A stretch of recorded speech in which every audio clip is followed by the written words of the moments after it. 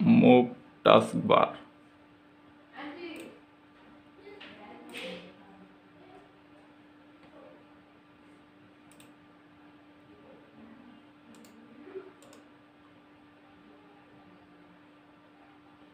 press and hold right up left